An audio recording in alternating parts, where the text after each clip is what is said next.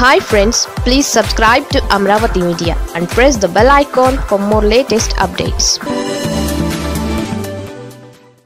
ఒక్క ఈ కాపు నేస్తమన్న ఒక్క పథకానికే ఈ మూడు సంవత్సరాలలో మొత్తంగా పద్నాలుగు వందల తొంభై రెండు కోట్ల రూపాయలు ఒక్క ఈ ఒక్క పథకం ద్వారానే నా అక్క చెల్లెమ్మలకు అందించడం జరిగింది అని కూడా సగర్వంగా సవినయంగా తెలియజేస్తా ఉన్నాను. ప్రతి అక్కకు ప్రతి చెల్లెమ్మకు. ఒక్క వైఎస్ఆర్ కాపునేస్తం ద్వారానే దాదాపుగా పద్నాలుగు వందల తొంభై రెండు కోట్ల రూపాయలు నేరుగా బటన్ నొక్కి డీబీటీ ద్వారా వాళ్ళకి ఇస్తే ఇక నవరత్నాల్లోని మిగిలిన పథకాల ద్వారా ఆ నవరత్నాల్లోని పథకాల ద్వారా ఈ మూడేళ్ళలోపే ఒక్క కాపు సామాజిక వర్గానికి సంబంధించిన నా అక్క చెల్లెమ్మలకు ఆ కుటుంబాలకు డీబీటీ ద్వారా కానీ కాపు కార్పొరేషన్ ద్వారా కానీ కలిగిన లబ్ధి ఏకంగా ఈ మూడు సంవత్సరాలలోనే పదహారు వేల రెండు వందల యాభై ఆరు కోట్ల రూపాయలు అని చెప్పి సవినయంగా తెలియజేస్తా ఉన్నాను. ఇది కాక ఇళ్ళ పట్టాల పంపిణీ కానివ్వండి. ఇల్లు కట్టే కార్యక్రమం కానివ్వండి. లేదా నాన్ డీబీటీ పథకాల ద్వారా కానివ్వండి. ఇదే కాపు అక్క చెల్లెమ్మల కుటుంబాలకు కలిగిన లబ్ధి మరో పదహారు వేల కోట్ల రూపాయలు. ఒక్కసారి తేడా గమనించమని అడుగుతా ఉన్నా. ఈ ఇళ్ళ పథకాలకు సంబంధించి ఇందులో కేవలం ఇళ్ళకు సంబంధించి ఇళ్ళ పట్టాలకు సంబంధించి చూస్తే రెండు లక్షల నలభై ఆరు వేల మంది. రెండు లక్షల నలభై ఆరు వేల మంది నా అక్క చెల్లెమ్మలకు. ఇచ్చిన ఇళ్ళ పట్టాల విలువే కనీసం ఒక్కో పట్టా విలువ ఐదు లక్షల రూపాయలు చొప్పున వేసుకున్నా కూడా ఈ రెండు లక్షల నలభై ఆరు వేల ఎనభై మంది నా అక్క చెల్లెమ్మలకు. పన్నెండు వేల కోట్ల రూపాయలు కేవలం ఇళ్ళ పట్టాల ద్వారానే ఇచ్చాము అని చెప్పి కూడా సగర్వంగా తెలియజేస్తా ఉన్నాను. ఇందులో ఇప్పటికే ఇందులో ఇప్పటికే లక్ష ఇరవై వేల మందికి ఇల్లు కట్టే కార్యక్రమం కూడా మొదలైంది.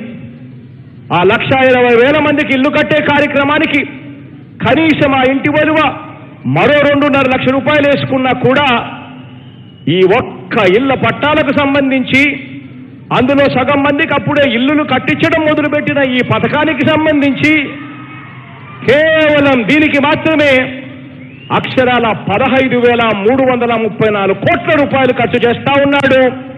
మీ బిడ్డ మీ అన్న మీ తమ్ముడు అని చెప్పి సగర్వంగా ఈ సందర్భంలో తెలియజేస్తా ఉన్నారు ఇక మిగిలిన నా- నాన్ డీబీటీ పథకాలను కూడా లెక్కేసుకుంటే అక్షరాల ఈ సొమ్ము పదహారు వేల నలభై కోట్ల రూపాయలు అవుతుంది. అంటే మొత్తంగా నా అక్క చెల్లెమ్మలకు వారి కుటుంబాలకు కలిగిన లబ్ధి ఈ మూడు సంవత్సరాల కాలంలోనే అక్షరాల ముప్పై రెండు వేల రెండు వందల తొంభై ఆరు కోట్ల రూపాయలు అని చెప్పి కూడా సవినయంగా సగర్వంగా తెలియజేస్తా ఉన్నాను. ప్రతి అక్కకు ప్రతి చెల్లెమ్మకు. ఒకసారి తేడా గమనించమని చెప్పి ప్రతి అక్కను కోరుతా ఉన్నాను ప్రతి చెల్లెమ్మను అడుగుతా ఉన్నాను.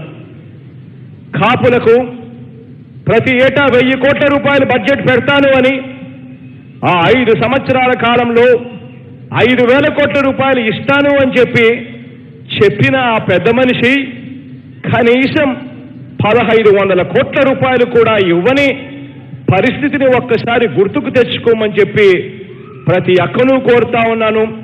ప్రతి చెల్లెమ్మను కోరుతా ఉన్నాను. ఆ వాగ్దానాన్ని కూడా ఆయన చేసిన అనేక అబద్ధాలు అనేక మోసాల మాదిరిగానే మరో మోసంగా మిగిలిచిన పరిస్థితులు ఒక్కసారి జ్ఞాపకం తెచ్చుకోమని చెప్పి ప్రతి అక్కను ప్రతి చెల్లెమ్మను కోరుతా ఉన్నా. ఇక మనం మేనిఫెస్టోలో చేసిన వాగ్దానం ప్రతి ఏటా రెండు వేల కోట్ల రూపాయలు ఇస్తామని ఐదు సంవత్సరాలు తిరక్క మునిపే పదివేల కోట్ల రూపాయల మేరకు లబ్ధి చేస్తాము అని చెప్పి మనం చెబితే ఇవాళ మూడు సంవత్సరాలు కూడా తిరక్క మునిపే అక్షరాల ముప్పై రెండు వేల రెండు వందల తొంభై ఆరు కోట్ల రూపాయలు ఇవ్వగలిగాము అని చెప్పి కూడా మీ బిడ్డగా మీ అన్నగా మీ తమ్ముడిగా సగర్వంగా సవినయంగా తెలియజేస్తా ఉన్నాను. మనసుతో పరిపాలన అందిస్తా ఉన్నాము అని చెప్పి కూడా సగర్వంగా తెలియచేస్తా ఉన్నాను. ఇది మన ప్రభుత్వం అక్క చెల్లెమ్మల మీద మన ప్రభుత్వం పేదవాడి మీద చూపిస్తా ఉన్న శ్రద్ధ చూపిస్తా ఉన్న చిత్తశుద్ధి అని చెప్పి మీ అందరికీ కూడా ఇవాళ తెలియచేస్తా ఉన్నాను.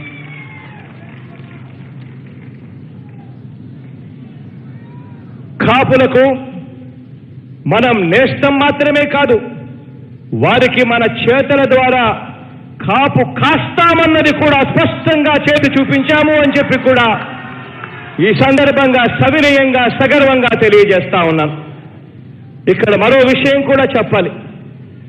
గతంలో ఒక కులానికి కానీ ఒక సామాజిక వర్గానికి కానీ ఆ ప్రభుత్వం ఏం మేలు చేసింది అని అంటే బడ్జెట్లో లెక్కలు మాత్రమే చూపించేవారు. ఈ లెక్కలు చూసి ఆ కులాలు వారంతా ఏమనుకునేవారో తెలుసా?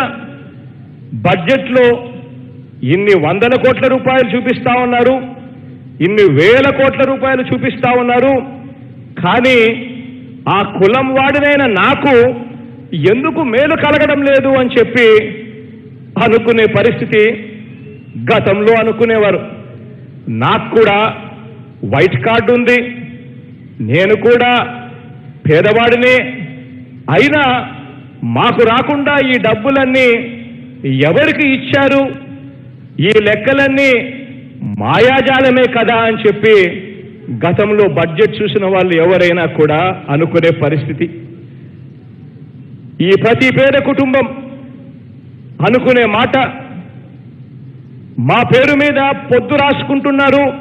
కాదు మాకు ఇచ్చింది ఏమీ లేదు అని చెప్పి గతంలో బడ్జెట్ చూస్తే ఎవరైనా అనుకునే పరిస్థితి. కానీ ఈరోజు ఆ పరిస్థితి ఇప్పుడు లేదు.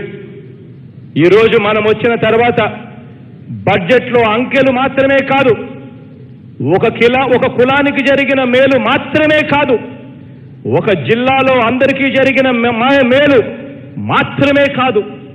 ఒక గ్రామంలో జరిగిన మంచిని మాత్రమే కాదు వీటినన్నింటికీ మించి ఈ మూడేళ్ళ పాలనలో మనం ప్రతి కుటుంబానికి అందులోని ప్రతి అక్క ప్రతి చెల్లెమ్మకి మన రాష్ట్రంలోని ప్రతి ఒక్క కుటుంబానికి వెళ్ళి ఇంటింటికి వెళ్ళి అక్క మీ కుటుంబానికి ఈ పథకాలు అందాయి ఇంత మేలు జరిగింది అని చెప్పి పూర్తి వివరాలతో మన పార్టీ మన పార్టీకి ఓటు వేయని వారిని కూడా మంచి చేయగలిగాము అని చెప్పి తలుపు తట్టి ప్రతి అక్కకు కూడా చూపించి ప్రతి అక్కను కూడా ఆశీర్వాదాలు కోరితే కోరే పరిస్థితి ఈరోజు మన ప్రజాప్రతినిధులందరూ కూడా గడప గడపకు వెళ్ళి చేస్తా ఉన్నారు అనంటే ఒక్కసారి ఆలోచన చేయండి. ఇంత ట్రాన్స్పరెంట్గా ఇంత మంచి జరిగిచ్చిన తర్వాత మంచిని చూపించి అక్క ఈ మంచి జరిగితేనే అన్నను ఆశీర్వదించండి మమ్మల్ని ఆశీర్వదించండి అని చెప్పి ట్రాన్స్పరెంట్గా ప్రతి ఎమ్మెల్యే మీ గడప గడపకు వచ్చి మిమ్మల్ని కలుస్తూ మీ ఆశీర్వాదాలు తీసుకుంటా ఉన్నారు అని అంటే ఇలాంటి పాలన దేశంలో ఎక్కడైనా ఉందా అని చెప్పి ఒక్కసారి ఆలోచన చేయమని చెప్పి నేను మిమ్మల్ని అందరినీ కూడా కోరుతా ఉన్నాను.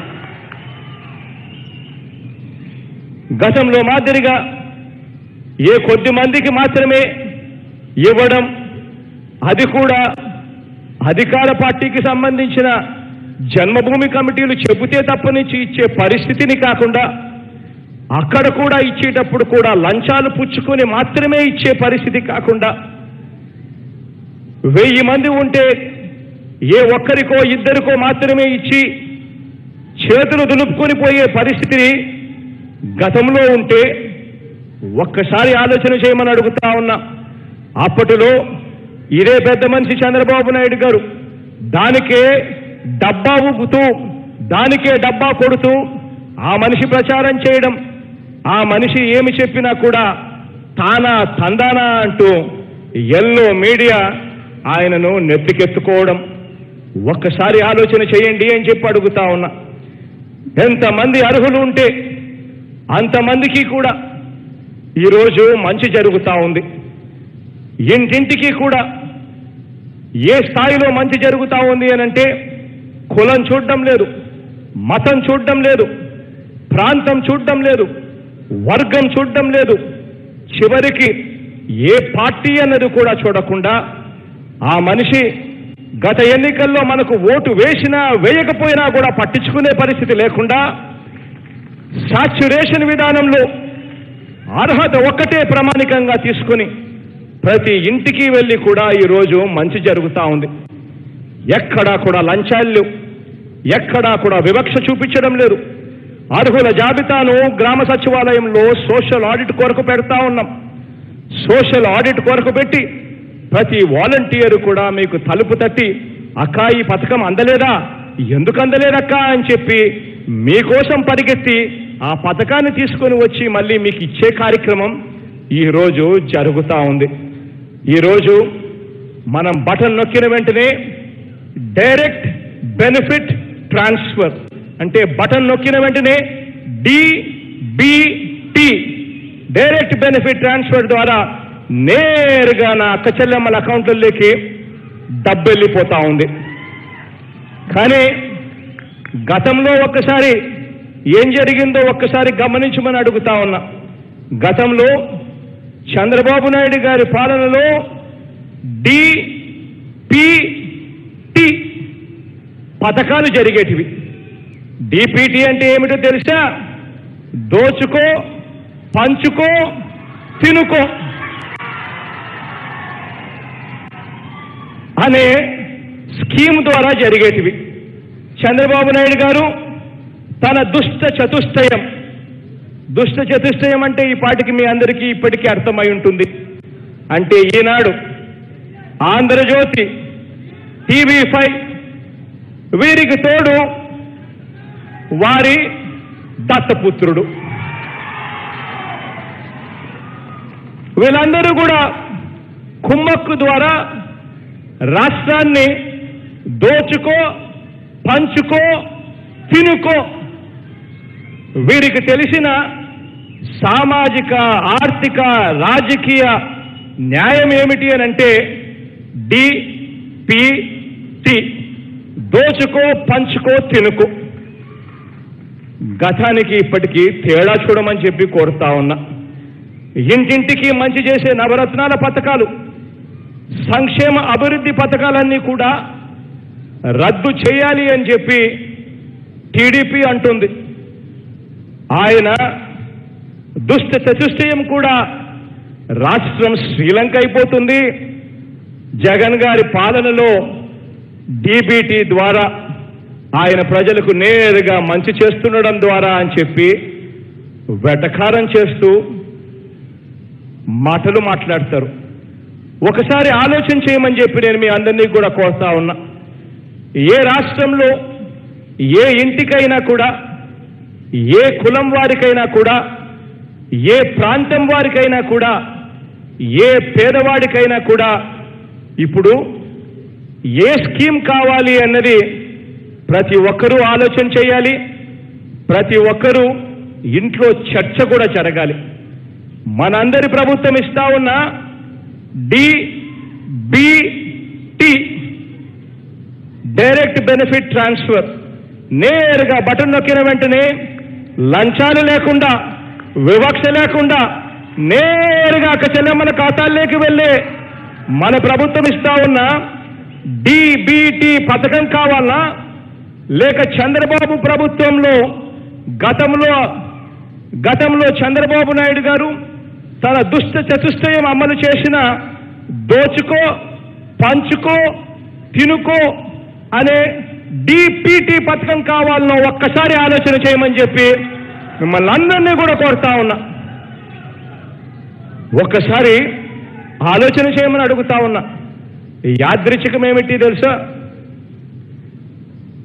మన పాలన మాదిరిగా వందల సామాజిక వర్గాల బాగు కావాలా?